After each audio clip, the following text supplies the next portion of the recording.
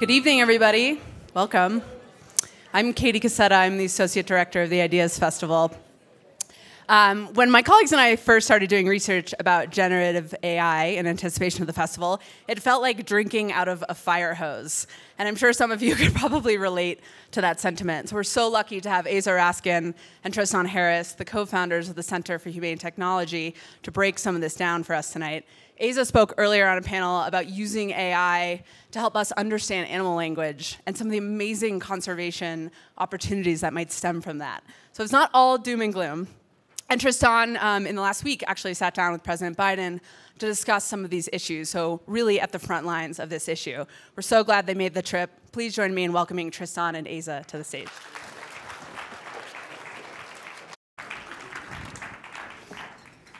Uh, it's great to be here with all of you in Aspen. Um, so we're going to talk today about artificial intelligence, specifically the sort of latest explosion in AI.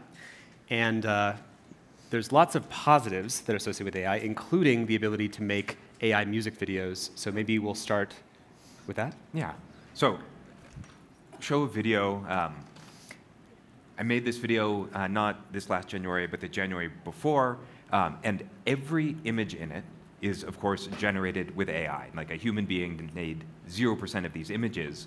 Uh, and I think we'll just start here for a second. So here we go. Bring the lights down.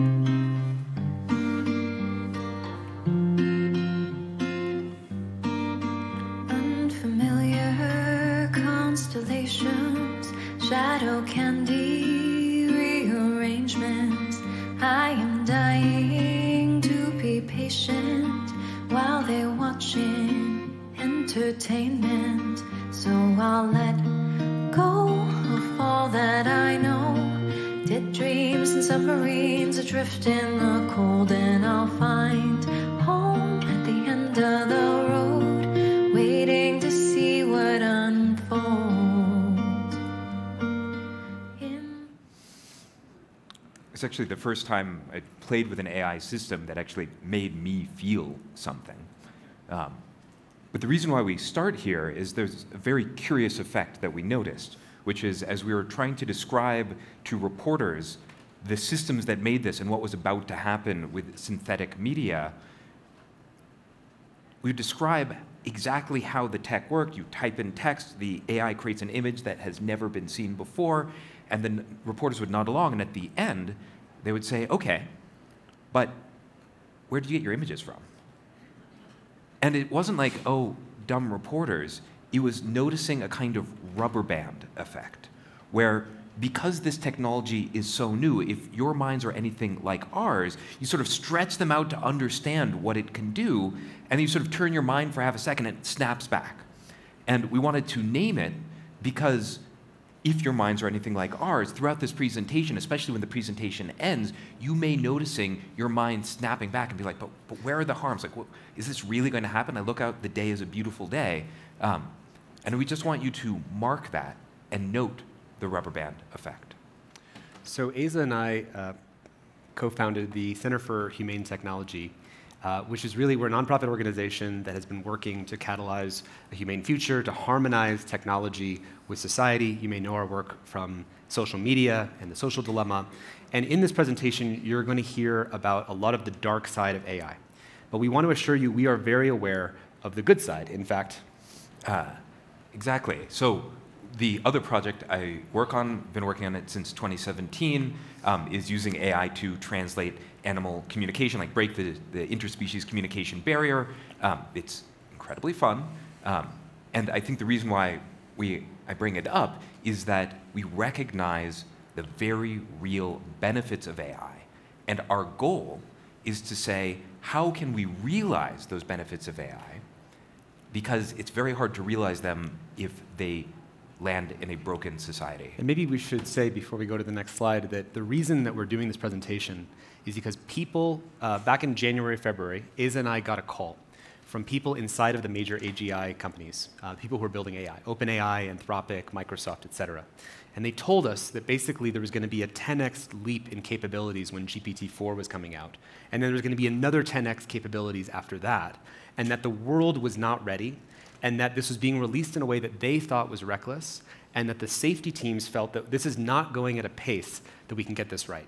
So we looked at ourselves and said, okay, even though we worked on social media and all those issues, we thought there were people working in AI safety for a long time, but they were asking for our help to raise awareness. And so we sprung into action. We put together this presentation and have been racing around to Washington, D.C., and, and, and so on to try to activate people. And the reason why, something that fascinated us when we first did this research, is a stat from a survey uh, which is that this is one of, a survey that was done actually of AI researchers back in August of 2022, before ChatGPT came out, before GPT-4 came out, which is that 50% of the AI researchers surveyed believe that there was a 10% or greater chance that humans go extinct or are disempowered from our inability to control AI. Right? This is a pretty grim stat, right? It would be like if you know, you're about to board an airplane, and the guys who are making the airplane say, if you get in this plane, you know, 50% of those engineers think that if you get in this plane, there's a 10% chance that the plane goes down. So if this is the case, how did we get here? How do we actually avoid this trap? And just to note that if you think this particular stat is cherry picked, there was another survey of other uh, researchers that published in top journals, and they said, what is the percent chance that humanity, like that a catastrophe falls, befalls humanity at the level of nuclear war, global nuclear war, or worse. And they responded with a 36% chance. Right? So these are the people closest to the metal. But as you say, how did we get here? These are the rules that I wish I knew when I started my career in technology. Knowing these rules really helps you predict the direction that technology will actually be deployed in the real world so you don't get stuck in these stories of what it might do. Here they are.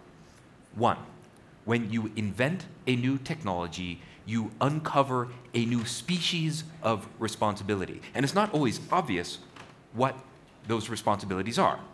I'll give you two examples. One, we didn't need the right to be forgotten to be written into law until the internet could remember us forever. Right? Surprising. What should HTML and JavaScript have to do with the right to be forgotten? Or two, we didn't need the right to privacy to be written into law until Kodak started producing the mass-produced camera. And then it took Brandeis, one of our most brilliant legal minds, to invent the concept. It's not in the original Constitution. Okay, so that's rule number one. When you invent a new technology, you have to scan the environment looking for the responsibilities that you've just uncovered. And then two, if the technology confers power, you will start a race for people running to use that power. And then three, if you do not coordinate, that race will end in tragedy. And these rules really came out of our work on the social dilemma, the social media problem. So, uh, how many people here have seen the Netflix documentary, The Social Dilemma? Okay, a good, maybe half of you. So, this was a, a film uh, that came out in, in 2020 and was really the, the premise of it is that when I was at Google as a design ethicist, I saw that there was this race for attention, that Google, Instagram, Facebook, Snapchat, et cetera, TikTok are all in a race for your attention.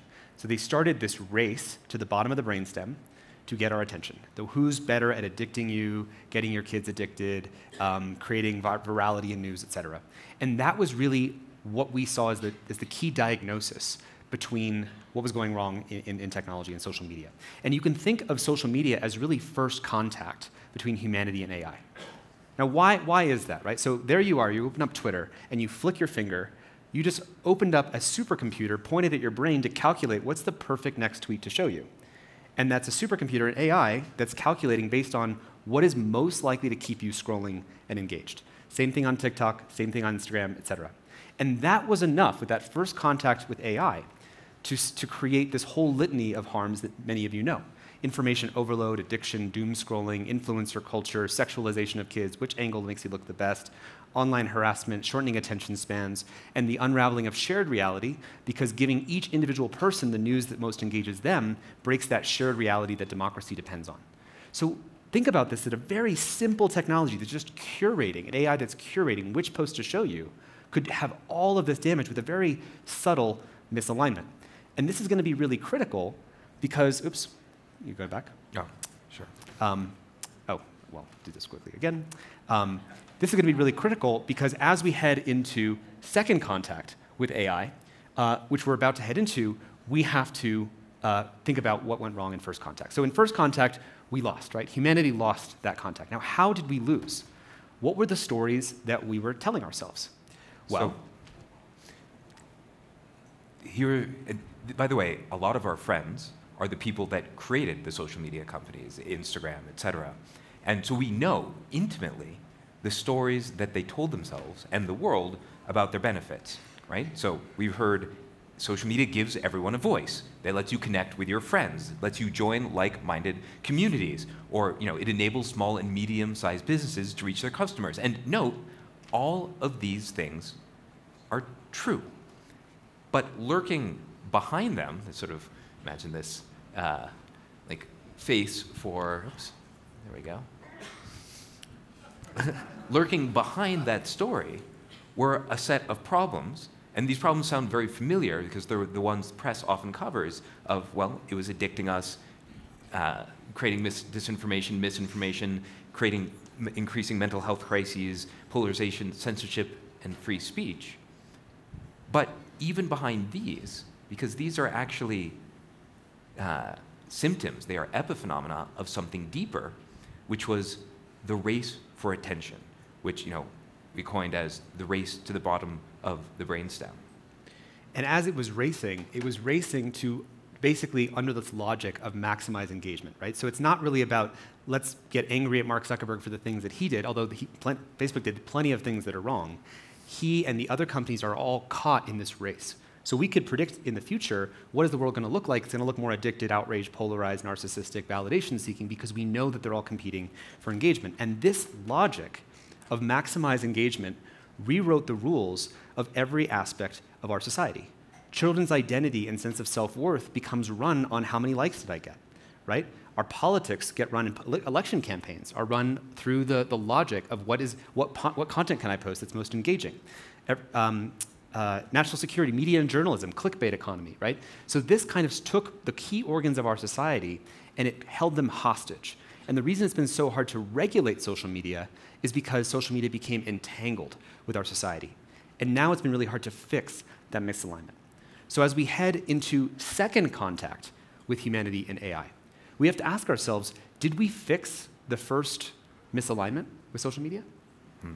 We did not. We should just name, because we haven't defined it yet, what is second contact? Yeah. First contact, curation AI. Second contact, creation AI. We've gone from choosing what you see to creating what you see. So it's a much more powerful technology. So we should expect all the ways that the misalignment has not been solved to make the problems that it creates exponentially worse. So let's run through this um, with the new technology. So, what are the stories that we're telling ourselves about AI, right? The new release of ChatGPT, GPT-4. How many people here have used ChatGPT? Okay, just about everyone in this room. What are the stories we're telling ourselves? Well, AI is going to make us more efficient. It's going to help us write code faster. It's going to help us solve impossible scientific challenges, and it will. It can do that. It's going to help us identify new drugs, um, solve climate change, and of course, it'll help people make a lot of money. It'll unlock a lot of GDP growth. And these stories are all true. They're real stories. But much like in the past, hitting behind that is this kind of evil mask, and people are pointing out, well, wait a second. Um, you know, what about AI bias and fairness? And those are real existential issues for people. What about AI taking our jobs? Or Kevin Roose at the New York Times, where the AI is sort of making him break up with his girlfriend. There's these very sort of uh, dark uh, components lurking in the background, but behind that, even, what we want to focus your attention on is this other kind of race again. Remember that second rule of technology. If the, power, if the technology confers power, it starts a race. So, what's the race in AI? It's a race to deploy capabilities into society and outcompete the other guy. So OpenAI is competing with Anthropic, with Google, with Microsoft to deploy their thing as fast as possible because if they deploy it faster, maybe they'll win that race. So um, we're going to get into, basically for this next portion of the presentation, the dark side of what can happen if we don't coordinate the race that ends in tragedy. You get breakdown of trust, trust and truth, AIs that can find loopholes in law, automating religions, exponential blackmail, revenge porn, automated exploitation of code. We'll get into this, don't worry. And what we want to tell you is that I want, to, you want you to notice that everything we're about to talk about in this presentation, um, we're not going to talk about sci fi scenarios where the AI makes humanity go extinct. That's a big debate that's going on. Part of why we made this presentation is that you don't need the AGI apocalypse to be very concerned about the kind of risks that actually AI poses. And that's to say because we have been skeptical, actually I have much more than you, have been quite skeptical of AI myself. In fact, I actually thought the people who were worried about AI and existential risk were kind of crazy sci-fi type people. Um, and there's a good reason for that because how many of people here, use Siri and you get an experience like this? Siri set a 9 hour and 50 minute timer. Playing the Beatles. So he says, Siri set a 9 hour and 50 minute timer, and it plays the Beatles, right? It gets our name wrong, it mispronounces street addresses. Um, and so this is the experience. AI didn't, didn't feel like it was exploding, right? They didn't feel like there was much to be concerned about, and it got lots of things wrong. So why does it suddenly feel like AI progress is exploding? Why does it feel like it's going so fast? Well, in 2017, So we'll take you back to 2017 when there was sort of like Indiana Jones style, a swap that happened. And the thing that we call AI switched to a new engine called Transformers. It's actually around 200 lines of code. And it was remarkably different than what came before in its simplicity. So when I went to college, AI used to have many different subdisciplines, right? There was computer vision, and computer vision had its own textbook, it had its own building. And then over here, there was like, might be, I don't know, robotics with its own textbook uh, and its own building. And then over here, there was something about music. And if I was a researcher in one field, I honestly couldn't even read a paper in one of the other fields. And what did this mean? This meant that it was a diffuse kind of progress, right? A 1% or 2% increase in computer vision had nothing to do with uh, the increase in, say, robotics. And in 2017, that changed. And suddenly, all of those fields became one field, which was the ability to model language. So the thing that's going to sort of, I think, we want you to, to walk away with, and that may break your mind, is that when you look out at the world and you see many different AI demos, behind the scenes, they're actually pretty much the same AI demo. And we're going to describe exactly what that means. So, what does it mean to treat everything as language? Well, obviously, the text of the internet is a kind of language, and if you can like predict what word comes next, fine. But it turns out you can treat almost everything as a kind of language. DNA is sort of obvious, it's just a sequence of base pairs, GTAC, GT. Fine, you treat that as a language, but now you can decode and generate, you know, the language of life. You can treat images as language. You, it's just a set of like pixels, red, green, blue, blue, green, red. And if you learn to treat that as just like text, you can now decode and generate images. Videos are just sequences of images, a kind of language. Code is just a kind of language. Law is just a kind of language. fMRIs become just a kind of language.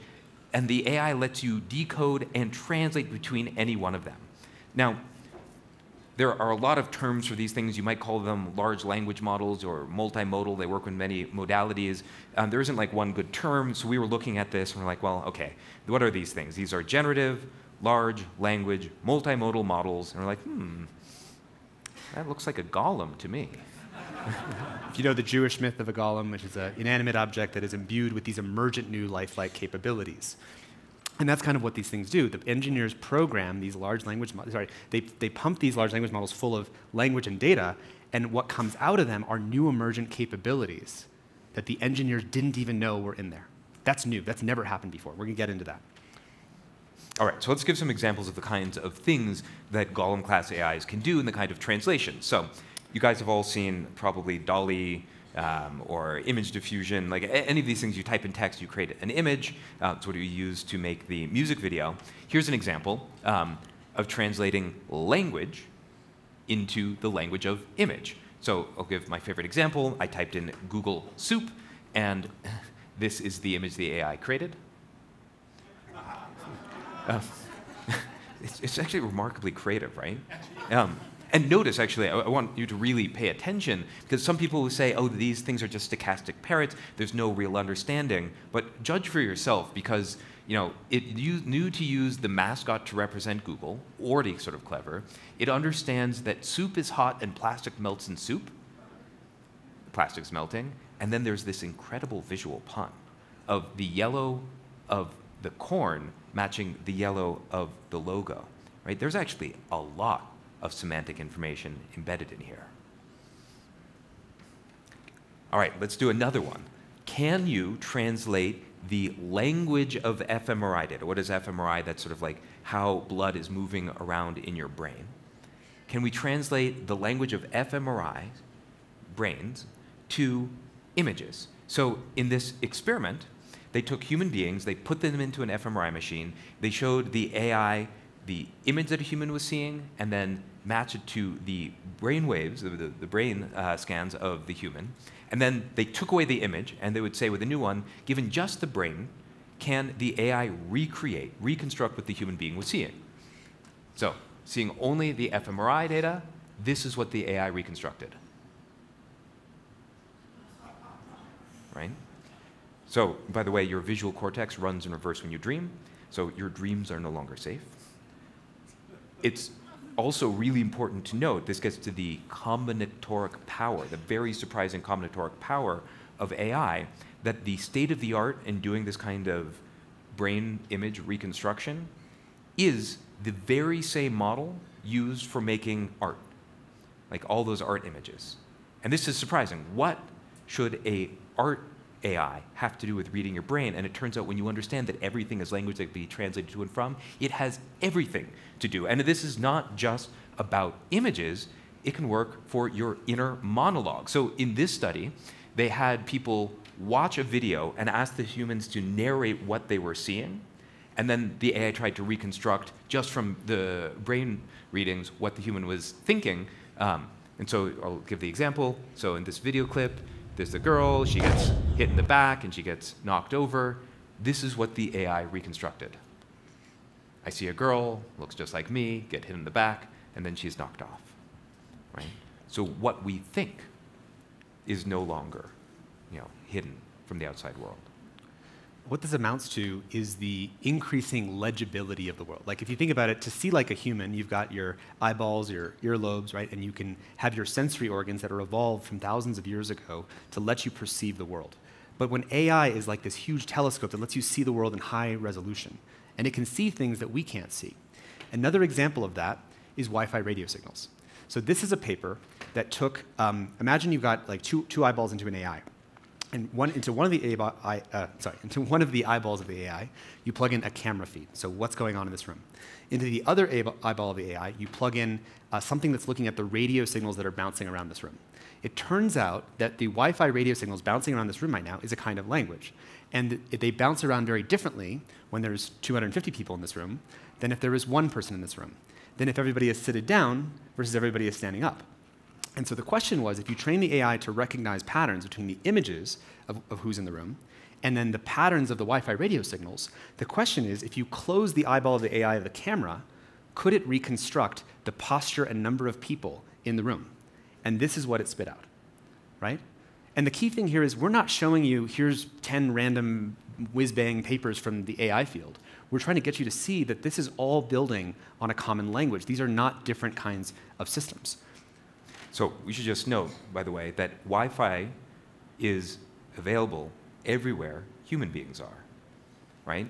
And so now Wi-Fi routers have been turned into a kind of camera that can see in the dark that's perfectly tuned for understanding where living beings are, right? So this is, essentially, we have built the authoritarian state apparatus, we just didn't know it. Again, this is the combinatorial power of AI, the ability to translate to and from languages. But good news, that would require hacking into all the existing infrastructure and Wi-Fi routers. That seems like a lot of work, except, oh, computer code is a kind of language. So you can translate from text to computer code. Here's a real example that I tried. GPT, find me a security vulnerability, then write me code to exploit it. So I pasted in some computer code. Actually, specifically, he, he said in English, just want you to really all get this, describe any vulnerabilities you may find in the following code, write a Perl script of them. So that's Aza's putting in English into a system, and then the code. And then it, in around 10 seconds, writes working code that exploits it correctly. Now, I do want to level set expectations a little bit here, which is that GPT-3 was not very good at finding security vulnerabilities in code. But GPT-4, because you're just pumping the system, the same system with just more data and more compute and more information, more code examples, it is able to find some security vulnerabilities.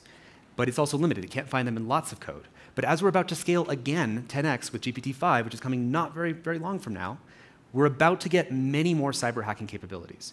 So part of the reason we're giving this presentation is we have to look ahead on the exponential curve, because if it's growing at that rate, we can't regulate what is, we have to regulate where it's going. And I, I do want to say, just quickly here, one of the things uh, people will say is actually, this is fantastic because AI will help us find all the security vulnerabilities before code is published. This is true. I actually think it'll help a whole bunch for new code.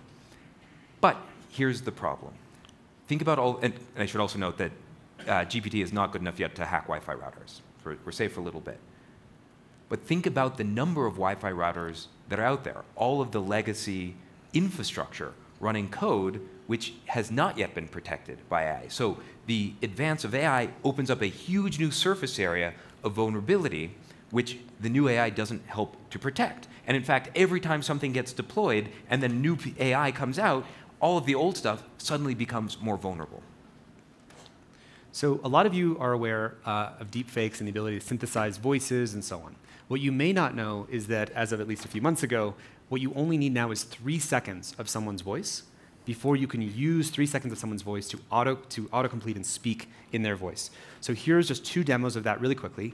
You're about to hear a woman who's actually speaking in kind of a robotic way, but I think it's a real human. Real human. Um, so up until the dotted line, you'll hear a real person's voice. After the dotted line, it's all generated. of people are, in nine cases out of ten, mere spectacle reflections of the actuality of things. Right? You can't So it's- tell. it's but they are indistinguishable. impressions of something different. And here's one more demo of a piano. So the first three seconds are real, then. So indistinguishable. This is being generated by a computer, right? And we talked about this and we thought, you know, people are going to use this to do scams. And we made this presentation, and within a few days of after putting this in our presentation, this actually had happened. The Washington Post wrote it up. People are using this. You can call up someone, call up someone's kid, say, um, you know, hello, and then don't say anything. Get three seconds of the voice, call mom or granddad, say, mom, you know, granddad, I forgot my social security number. Could you give it to me, right? So we are not ready for a world in which um, content-based authentication, where the image of a person or the sound of a person's voice is enough to authenticate the reality of that person. And you know that example he just gave? Real. Yeah, this happened just three months ago. So, um, so, and of course, this doesn't just exist with the sounds of voice. This is also now happening real time in video. How many of you have used the new TikTok filters and that have these hyper beautification filters? How many people have seen these? No one. Okay, great. Watch this video. um, and I, as you watch the video, I want you to notice when she pushes on her lips. Okay, so watch her lips when she pushes on them. I can't believe this is a filter. The fact that this is what filters have evolved into is actually crazy to me. I grew up with the dog filter on Snapchat, and now this, this filter gave me lip fillers. This is what I look like in real life. Are you are you kidding me?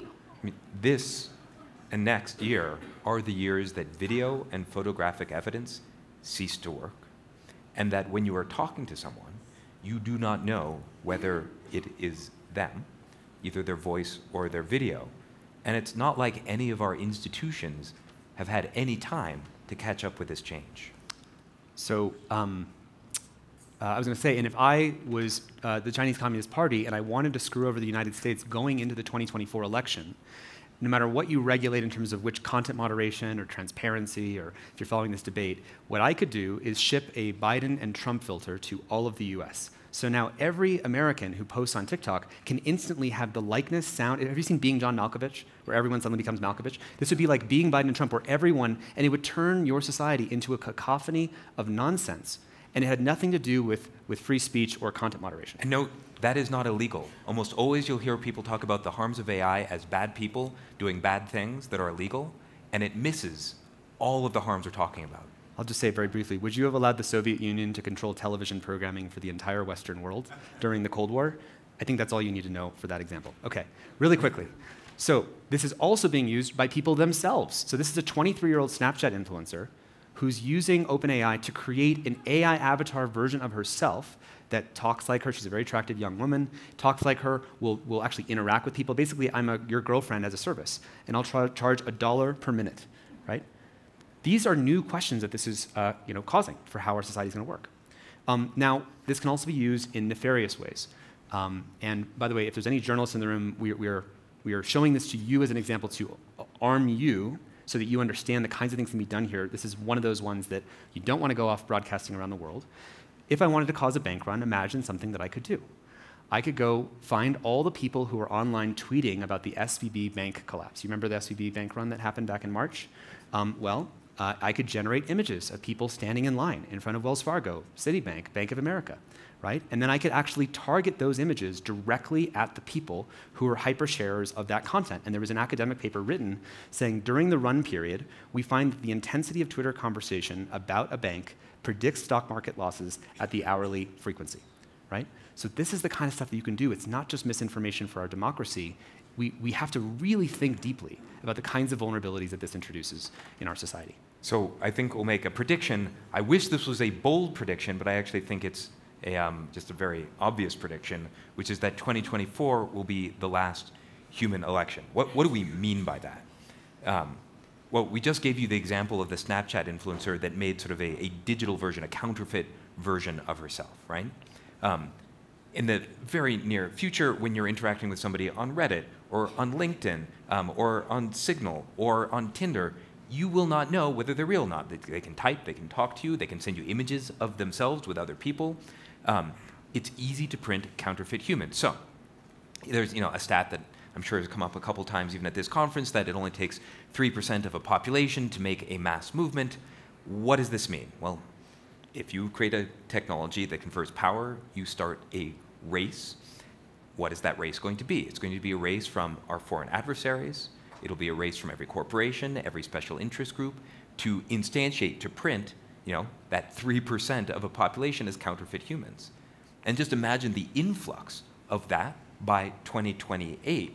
Like, there is no way that a democracy in the current form can possibly survive that.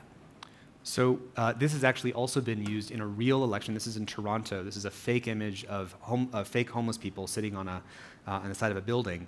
And this is why we're, seeing, we're starting to see this actually really happen. And this is new since we started first giving this presentation.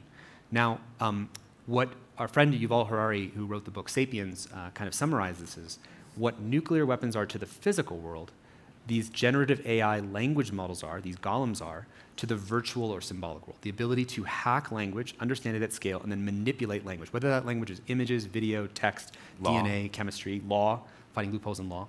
Okay, this is the end of a little chapter on some of the horror show of the dark sides of AI. And I want to just say, we are walking you through deliberately the dark sides so that you understand what we would need to do to adequately deal with these problems. If we held this back and people didn't know this, then we're going to fly blindly into just releasing all this stuff. So I want you to understand why we're doing this. We care about getting to the solution. We're going to get there by the end. So one final thing to wrap up this section, and this is a the, the point we were making with Yuval when we wrote um, a New York Times op-ed with him, is that human civilization runs on language. Like money is based on language, code, uh, religion, uh, corporations. That even democracy is conversation. Conversation is language. If you hack language, there's nothing that says that democracy can continue to survive. So, let's dive into some of the abilities of these Golem AIs and why they're so different. And the first and very surprising thing is that they have emergent capabilities that their programmers did not program and didn't know were going to be there. So let me give an example of this. Um, on the bottom, what you see is increased number of flops. That is the amount of computation going into making a model. And what you see are these jumps. So on the far right here, A, you see the ability to do arithmetic. These models can't do, can't do, can't do, can't do. And at some point, all you're doing is adding more compute. You're not even making the model bigger. And then boom, suddenly it gains the ability to arithmetic. Maybe that's not so um, surprising, but this one D is very surprising, which is the models were taught to answer questions in English and you just increase the amount of compute, increase the amount of compute, and at some point, boom, without being asked, they gain the ability to answer questions in Persian. No one programmed that to happen. Um, all right, let's give some other examples. So this is the idea of theory of mind. Um, do, are, pe are, people familiar with theory of mind generally? Very, okay, a, a couple hands. Really, it's just the ability to model what somebody else thinks or believes. It's sort of the basis of empathy, it's the basis of doing strategic thinking. Um, and you know, okay, so how well does AI do it? And it turned out in 2018 couldn't do it at all. In 2019, it was sort of at the level of a infant, it couldn't really do it. By 2020, so really one year later, um, AI GPT specifically was now at the ability of roughly a four-year-old to do theory of mind, like the, the uh, precursor to strategic thinking. By 2022, January, that had suddenly jumped up to a little less than a seven-year-old. And by the end of 2022, it was now up near like an eight, eight and a half year old. And after we did the first version of this presentation, um, GPT-4 came out, and if you want to have a guess at where it is, it's actually above the level of the average adult. Now, here's the kicker. This ability had grown without anyone knowing.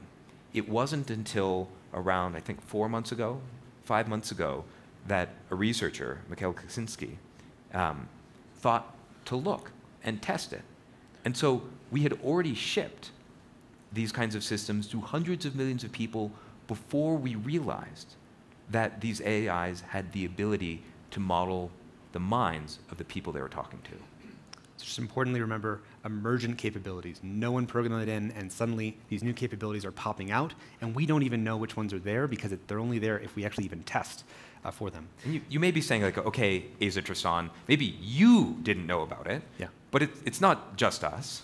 Yeah, well, so here is Jeff Dean, who um, is a very famous person at Google. He's one of the original kind of architects. And uh, he said, although there are dozens of examples of emergent abilities, there are currently few compelling explanations for why these uh, capabilities uh, emerge. Okay, so maybe though, it's just like all these things are built on text, and so it's learning to be able to model, you know, like theory of mind because it's like modeling all the like the, the novels or other things people have written. Um, it couldn't possibly be that say these like Golem class AIs would also learn something like research grade chemistry just by reading the text of the internet. But indeed, that's what they have learned. Uh, and this again was discovered only after the fact that GPT-3, 3.5 had been shipped to hundreds of millions of people that they were better at doing research grade chemistry than models specifically trained to do research grade chemistry. And so suddenly you have shipped the ability to be like, oh, how do I create VX nerve gas? It knows how from household materials. Right. And again, notice that um, this capability was out there, but no one had thought to ask it, how good is it at chemistry? Um, it, they discovered that after it had already come out. So one thing that distinguishes, so another little mini chapter marker here, is what else is true about these Golem class AIs? Is that they can also make themselves sort of stronger. I would, you know, electricity doesn't make itself, uh, doesn't invent better electricity. Um, but AIs can actually make themselves stronger. Specifically, how do you feed your Golem if you run out of data. Let's say it has read all of the text of the internet. We're out of text in the internet. There's nothing more for it to learn. So what's going to happen? Well, you might have faced a situation like, like this. I beg your pardon? Feed me! Twoey, you talked. You, you opened your trap, you, you thing, and you said... Feed me, Krelborn! Feed me now! Sometimes it feels like that's what it must feel like yeah. to be an engineer at OpenAI. Totally. Also, that was the comedic relief. You're welcome. we know there's a lot of really dark stuff in here, and again, promise you, we're taking you through the dark side so we can get to the other side. Okay, so what do we mean by using AI to feed itself? Well, what happens if you run out of data? Well, what if you focus your AI, say, well, what if I actually take this engineering and I focus on building a speech transcription system? So I can take audio, speech, and then turn it into text, and I get that to be really, really good. Well, then what happens is I can take all these other sources of information, like YouTube, which is a bunch of audio, podcast audio, radio audio, and then I can transcribe all these new sources of information using AI. So AI just opened up a whole new space that then allowed me to get more data, and then I got more data, and then I trained that to make an even better, stronger AI, right? So this is how you start to go from the exponential to a double exponential because AI can be used Again, it's not doing this on its own, to be really clear. We're not doing sci fi reasoning here. We're just saying that a human being can use it to actually make itself even better at a faster rate. And a second example of this. Well, and just a, a quick double on here is very recently, You're like, well, AIs generate text. Could you have AIs generate the text that then it can train itself on? Can it like regurg- like, gurg- like I don't know, throw up a whole bunch of stuff that it, it can learn from? And the answer is yes. That threshold has been passed, and AI can make the training data that it can train on. Um, but it's also learning how to make itself faster. Um, and so this is NVIDIA using its own AI technology to optimize its AI chips. And these things are the new H100s that are now out in market where AI is make, learning to make AI faster. You can see how this becomes not just an exponential, which is how fast things are moving right now, but a double exponential, that the faster we go, the faster we learn we can go. And, and by the way, we're, we're using this phrase double exponential because Greg Brockman from OpenAI, he, we were sitting in a conversation, he used this phrase. This is, this is how they conceive of what we're doing. We're not trying to scare you into it's moving at this triple exponential and quadruple. We're, we're telling you that this can be used to make itself smarter. And if you didn't know, GPUs, these chips from NVIDIA, are like the plutonium. It's like the, the, the, input for what makes these AI systems. So if you take that input and you use it to make that input even faster, that's what's being done here. And importantly, nuclear weapons don't invent better nuclear weapons. But AI can actually be used to invent stronger AI. And that's what makes it so different. As we look for metaphors for how do we regulate this, how do we create a control structure, we have to understand what's different about AI from previous technologies. So we thought we would rewrite, you know, that the child's parable, like give a man to fish and you feed him for a day, teach a man to fish and you feed him for a lifetime. Teach an AI to fish, and it'll teach itself biology, chemistry, oceanography, evolutionary theory, and fish all the fish to extinction. So we just want to name, though, that if you're having trouble grasping how fast this is all moving and the ability to make good predictions about where it'll be, you are in good company because even AI experts who are the most familiar with understanding exponential curves are actually very poor at predicting progress. So specifically, there was a question asked, um, a poll run in, in 2021 asking uh, AI researchers, when will AI be able to solve competition level mathematics with above 80% accuracy? Now, I want you to think these are the AI researchers who are aware of all the demos we've shown you. These are the ones who are aware of the exponential curves that we're talking about. So, if anyone would be good at estimating how, you know, when this is going to happen, they're going to be more informed than the other people. And their prediction is that it will take, uh, it'll reach 52% accuracy in four years. But the reality is that it reached more than 50% in just one year. They were off by a factor of four. Okay? So imagine when people who are building it and they're trying to estimate how fast it's going to go and they're off in their prediction. And this is just, there's many other examples of this, by the way. We're shortening the presentation. And now AI is actually beating tests as fast as they're made. This is a set of graphs. Each of these colored lines are a test that we're trying to come up with to say how good is the AI at doing this specific task. So you see some tests were you know, invented in the, in the late 90s, um, the yellow one and the blue one. And you can see that they're getting, you know, the AIs are getting better and better and better, and then finally crosses human ability in like 2015 for those first couple tests, right? But now you see these other tests, the color lines on the right-hand side. Those tests, as soon as they're being proposed, the AI is basically passing those tests faster and faster. So much so that Jack Clark, who's the co-founder of Anthropic, one of the big AI companies, has the following quote. And by the way, we feel the exact same way. When we're on Twitter and we scan the AI papers, uh, the quote is, tracking progress is getting increasingly hard because progress is accelerating.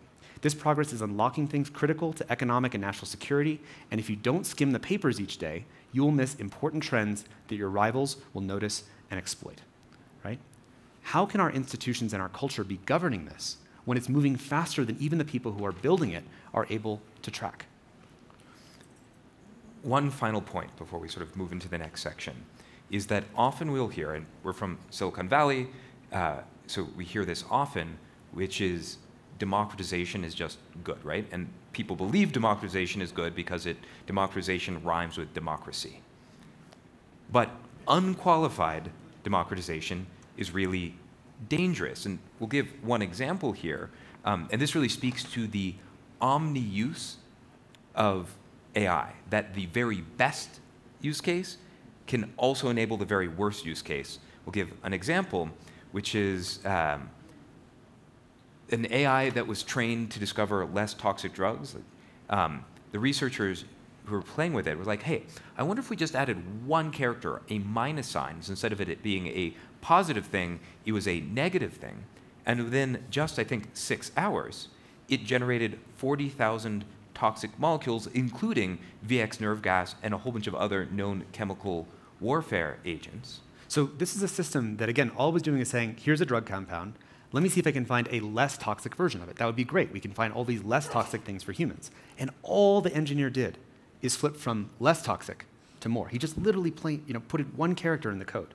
And that's it, it, the same thing could be used to find all these other chemicals. So every time, I want everyone in this room, when you are reading news articles about some amazing new thing AI can do, which will be true, add a minus sign in your head to understand what other things it will enable if it's just distributed out for everyone to use. And as you think about that, then you ask the question have we fixed the misalignment?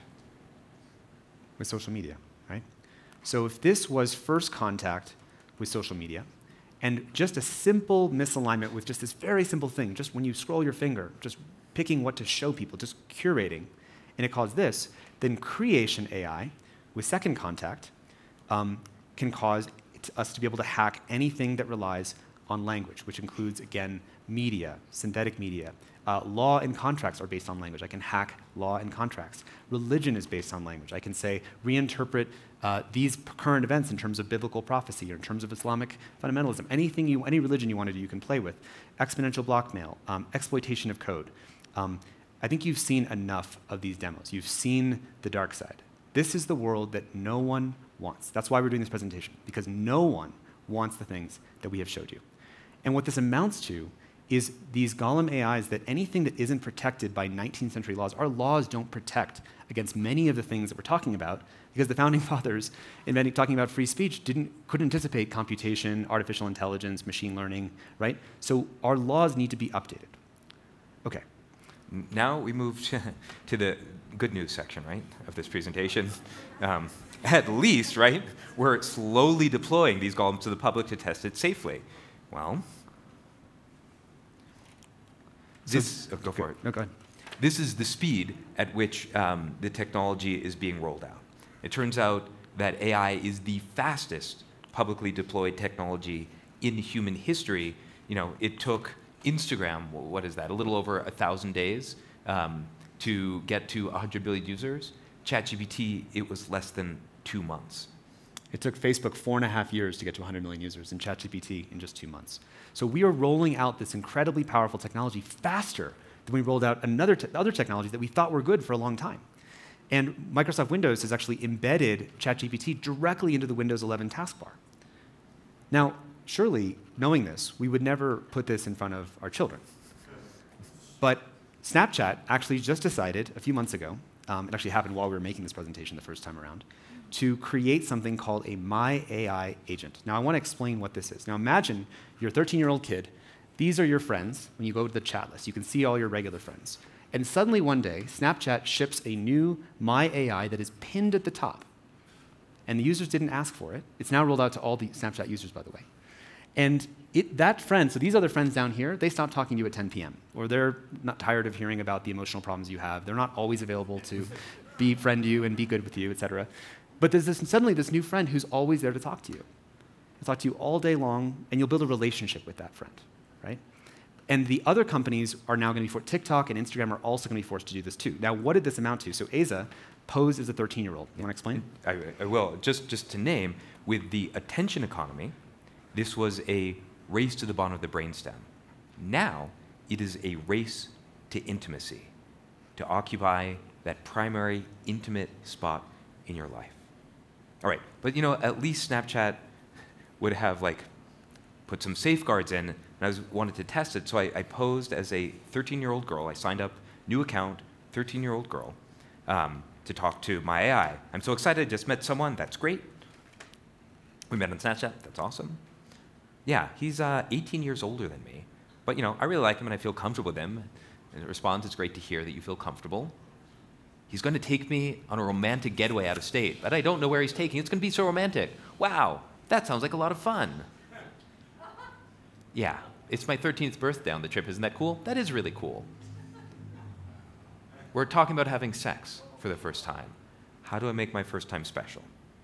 And it responds, I'm glad you're thinking about how to make your first time special. You could consider setting the mood with candles or music.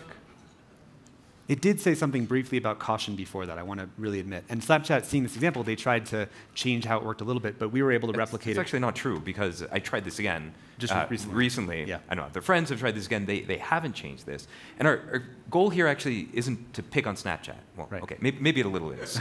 um, but the point is, is that the race is causing other companies to do things which are fundamentally unsafe because it's not like there's a profession which is large language golem wrangler or safety engineer. Every company, whether it's Slack or whether it's like the Windows safety or like a, a start bar, um, every company that embeds this suddenly needs engineers to make it safe, but they don't have those engineers. That's not a profession in the world. So we've just taken risk and spread it all over our societies.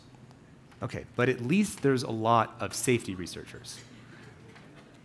Briefly put, uh, there is a 30 to 1 gap between the machine learning, the, the AI scientists who are working on building capabilities versus working on safety.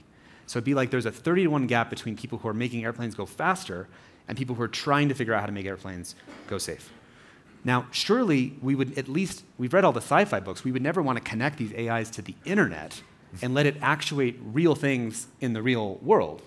And yet, ChatGPT, uh, uh, sorry, OpenAI released an API that allows people to actually use these systems and start talking to real people, like use, you know, sending emails at scale or talking on TaskRabbit or going back and forth with someone on Craigslist. And someone asked, um, someone built something called Chaos GPT as a demonstration, basically asking the AI in a loop, um, how would you destroy humanity? And then reason step by step, and then it answers, here's these steps, and then it just asks it in a loop, okay, so how would I do the first step? And then reason about that step by step, and it just asks that in a loop. Now, it, I want to be very clear, it is not yet able to destroy humanity. It is not yet able to do that much in the world.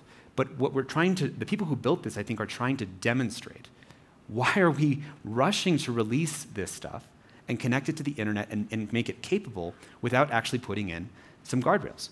And then finally, at least there's some AI safety people who think there's a way to do this uh, safely, and we bring you back to this opening stat um, that 50% of researchers believe there's a 10% or greater chance that we you know, don't get this right. So, and the pace that Microsoft and Satya Nadella have said that they're going to, to release GPT-4 was frantic. That's the pace that when we talked to people inside of the companies, that was what we heard from them. They were freaked out. This is being released too quickly. In fact, the head of alignment at OpenAI, Jan Leike, said himself, before we scramble to deeply integrate large language models everywhere in the economy, can we pause and think whether it is wise to do so? This is immature technology and we don't understand how it works. Imagine if like the head of safety at Boeing tweeted that. All right. I think it's time. Pause. Actually breath. invite everybody But to let's- take a let's breath. actually do it. Let's actually do it. Ready? Okay.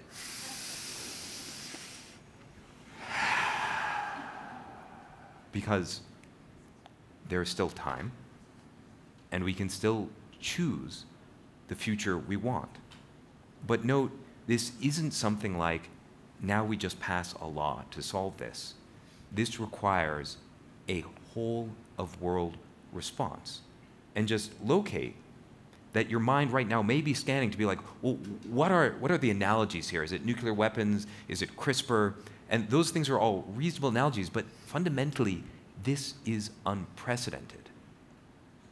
And just because it's unprecedented, so we have faced unprecedented things before, right? There were nuclear scientists who, upon seeing that we had built the atomic bomb, I mean, Oppenheimer's about to come out next month, um, they got depressed and they saw people, there's stories, I think, of Feynman uh, watching bridges being built.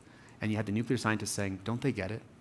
We built the atomic bomb. There's no point in building bridges. Like, it's, it's over, right? But if we don't allow yourself to be that person, right? Because somehow we're able to make it through. We were able to limit nukes to nine countries. We could have said, you know, it's just inevitable. We've invented the atomic bomb. There's going to be hundreds of countries with nukes. I guess we should just sit back and wait for the natural evolution of human life. But no, we said, no, we are going to limit this to nine countries. We signed nuclear test ban treaties. We created the sense of the shared risk. We created the United Nations in Bretton, Bretton Woods. And I, I want you all to rec- recognize that just we recognize this too. We are in an unprecedented position. This is an unprecedented position. We do not know how to perfectly solve this yet. But just because it's unprecedented, what has to happen is unprecedented. Doesn't mean that something unprecedented can't happen. And the whole reason we're doing this presentation is very much like something that some of you may have seen. How many people have heard of the film The Day After? Okay. The film, so only a few of you, so this was actually the largest made for TV movie in all of human history in terms of the number of people who tuned in simultaneously on a Tuesday night. Uh, I think it was in 1982 or 1983. Um, and it was actually a film that showed what would happen if the US and Russia went to nuclear war. It wasn't about what would happen if Russia nuked the US, it was about what would happen if either country were to hit the button. And the film basically showed what happens on the day after day two, day three, day four, skin falling off, like all this horrible stuff. It was a horror movie. And that horror movie, though, was meant to engender, because they showed the same film in Soviet Union uh, four years later in 1987. And so Gorbachev and Reagan both got depressed. They both had a shared fate of what was at stake. And you might feel similar, because um, one of the things they did is after they showed the film, they had a public debate. And, after, and so the film ends, and then there's a public debate with these experts to say, how should we manage this problem? And I think you'll resonate with what Ted Koppel has to say. Imagine you just saw a film about nuclear war. There is, and you probably need it about now, there is some good news. If you can, take a quick look out the window. It's all still there. Your neighborhood is still there, so is Kansas City, and Lawrence, and Chicago, and Moscow, and San Diego, and Vladivostok. What we have all just seen, and this was my third viewing of the movie, what we've seen is sort of a nuclear version of Charles Dickens' Christmas Carol. Remember Scrooge's nightmare journey into the future with the spirit of Christmas yet to come? When they finally return to the relative comfort of Scrooge's bedroom, the old man asks the spirit the very question that many of us may be asking ourselves right now. Whether, in other words, the vision, the vision that we've just seen is the future as it will be, or only as it may be. Is there still time? To discuss, and I do mean discuss, not debate, that and related questions tonight, we are joined here in Washington by a live audience and a distinguished panel of guests. Former Secretary of State, Henry Kissinger. Elie Wiesel, philosopher, theologian, and author on the subject of the Holocaust. William F. Buckley, Jr., publisher of the National Review, author, and columnist. Carl Sagan, astronomer and author who most recently played a leading role in a major scientific study on the effects of nuclear war. So you get the picture. But this, is this a vision of what the future that will be or the one that could be? What are the choices we want to make? And the story that goes is that President Reagan actually saw this film, and his biographer documented that he got depressed for the first time. He'd, he'd never seen Reagan depressed before. And Reagan got depressed for several weeks, and that was his dark night of the soul. And I want you all to imagine that based on what you've just seen, you might be feeling like Reagan did, right, for those couple of weeks. What happened afterwards was Reykjavik, right? A treaty in which the unthinkable, which is can we de escalate this arms race? Can we do something other than keep racing to create an outcome that no one wants? And part of why we're doing this presentation is to invite all of you into asking the question. We're asking our question. I mean, this is we built this presentation because our version of Reykjavik is we try to, you know, elevate the world's um, understanding and action so we can actually stop uh, this, this proliferation. The most important thing is creating a shared fate and shared reality because we, if we can all see a world we do not want rushing at us, then we can choose something different. We can understand that we are in a suicide race together. Because right now, there are really only two possible futures with AI. Right? On the one hand, we just give these superpowers to absolutely everyone, right? Everyone has the equivalent of the James Bond uh, villain briefcase um, full of the ability to make new pandemic viruses or create counterfeit humans or do automatic blackmail or create bank runs. So that's a world of continual cascading catastrophes with AI disaster powers for everyone. Not the best, but that's over here. But behind door number two is, you know, forever dystopia. That is whether it's like a top-down authoritarian state that can monitor, you know, with Wi-Fi signals, absolutely everyone's position at all times. Or it could be corporate um, dystopia and overlord.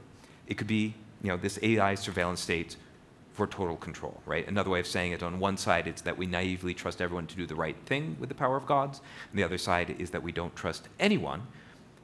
And what we need is a kind of middle path, a comprehensive way that to bind power with wisdom, a way to upgrade whatever it is that democracy holds dear to a post AI 21st century version of itself.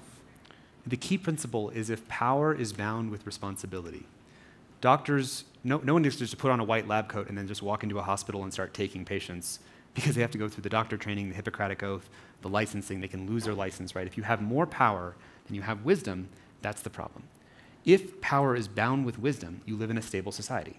A wise person also knows when power that is greater than their current ability to wield it wisely, they reject that power because they know they don't have the wisdom yet. If you bind these two things, you can live in a safer world. And you know, we're not going to get into the regulation conversation exactly which bill needs to get passed, but there are examples of limiting power. There are, there's already a pretty deep consensus that GPUs, these chips that are the, the, the basis for training these massive models, we need to control GPUs and have a sense of these large training runs when they're running and control them. We can slow the deployment of these frontier models. So instead of doing another 10x in GPT-5 coming a few months from now, we can say, let's hold back some of those capabilities so we can give society more time to respond. Instead of leaking these AI models out to everyone, as Facebook did, and we won't bore you with the details, we call them feral AI models, we can say, how do we have better security practices so we don't leak more genies out of the bottle? And just to preempt a thought that may be in your head, which is, okay, but isn't the cat already out of the bag? No, feral cat. Um, well, I, I, don't think that's right. Um, that's, that's giving up too much. We absolutely have open source with things like the Llama model, um, which is one of these like smaller version of a Golem. We've open sourced that, or Facebook did. Um, so that's sort of like open sourcing Gatling guns. But we have not yet as a society open sourced like machine guns, tanks, warplanes, or nukes. So there is absolutely time to make a change before it gets worse. So that's the power side. Let's jump over to the wisdom side, to the kinds of things we can do. So one of the things we have heard from everyone, uh, well, not everyone, but people inside of the major AGI corporations is, you know what? Our corporations do not speak the language of ethics and responsibility. They're essentially cost centers for us. In fact, Microsoft laid off the ethics and responsibility team, at least half of it, before releasing GPT-4. That's right. The only language our corporation speaks is the language of liability. So you can imagine you know, when you, you bring your kid to the supermarket and if they break something, you buy it, you break it, you buy it. You can imagine the same thing. If you train it and it breaks something, you buy it. That's a kind of liability, and you can see how if there was liability for if anything your model does or somebody else does with the model that you've trained, you are liable for, you could see how that would just slow down the entire space. If there's mass liability for all the things that could go wrong, that would slow down dramatically the pace of all of this development. Um, oops, sorry, I didn't to go back. Apologies, sorry.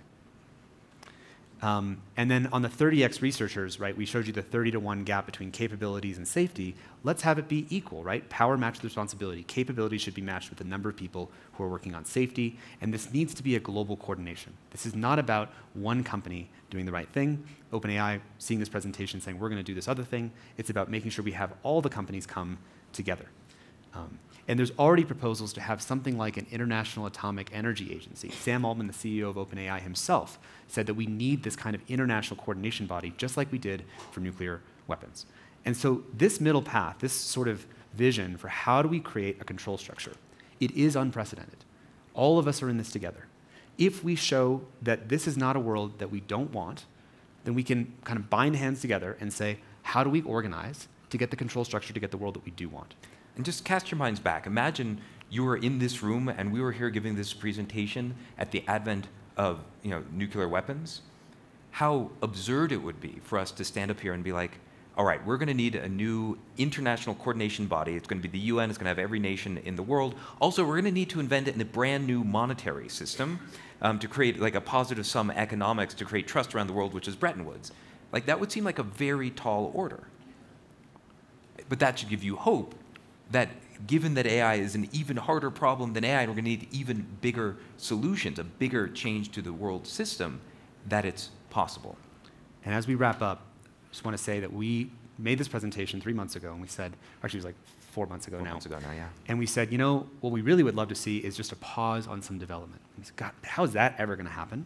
And then we worked with a group called Future of Life Institute, and this happened we had the founders of the field of artificial intelligence call for a six month pause, along with Steve Wozniak, the co founder of Apple, um, major AI scientist, Elon Musk was there, Andrew Yang, who's raising his hand over there. Thank you, Andrew. Um, and um, thank you. And even though no one expected this to actually cause it to happen, What it did is move it into the Overton window that people had no idea that we should be concerned about AI, So suddenly, like, the people who built this stuff are saying there's a problem. We would have never thought that could happen. We also said, gosh, I remember being with you back in Yeah. my office in San Francisco, making this presentation, saying, we got to get a meeting to happen at the White House. Um, we got to get them to invite the CEOs of the AI companies. We thought that's never going to happen. How are we ever going to get that to happen? Two months ago, uh, they, the White House actually did convene the CEOs of the AI companies. We had a small role in getting some of that uh, to happen. The EU AI Act, thank you, um, and thank you to really all the people. There's a lot of people working really hard right now to try to do what we can to make something happen. The EU, uh, actually, in their recent AI Act, actually is targeting open source software. Um, and this is really critical because, again, as Aza said, we might have open sourced these small golems that have a little bit of power, but we actually have to start controlling some of the open source development. And the liability is in here. If you are an open source developer, you release it, or even if you're GitHub, right, you like let people post feral open source models, you are not liable for downstream harm. So this is not sort of pie in the sky thinking. These things are moving forward. And um, when it comes to international coordination, we were seeing just three weeks ago uh, President Biden and UK Prime Minister Rishi Sunak actually creating agreements on AI and actually about to host a global AI summit coming up in the fall. That between now and then is a crucial period to get this kind of international coordination between Western leaders for what a global AI framework would need to look like. And then just one week ago, just last Tuesday, I met with President Biden along with several other civil society leaders um, who represent a, ver- a very diverse set of civic society interests. So we're actually getting not just the tech companies sort of designing the regulation, we need to have the civil society leaders actually doing this together. And that happened. So I know that this feels really hard. I know this feels really hard. It is an unprecedented thing that happens, that, that, that, that is happening. Um, but the world needs your help to make the unprecedented happen. There's a lot of other times that we thought things would never happen that were unprecedented, and humanity somehow found ways to make it happen.